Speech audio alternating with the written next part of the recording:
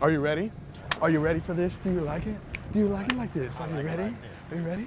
Are you ready for this? Do you like it? Do you like it like this? And we're back. Here I am, Fly Navarro with Fly Zone Fishing. I'm here with Tony with Team Galati.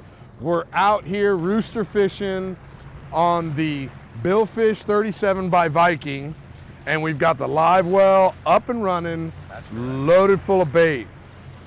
This thing is awesome.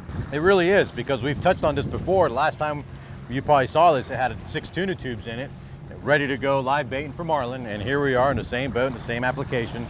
And we have our goggle eyes, our blue runners, our look downs, and we have three baits in the water. Perfect combination, versatility, my friend.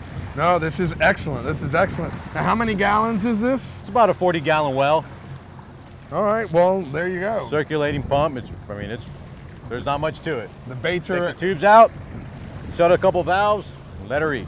the baits are enjoying it. They're happy.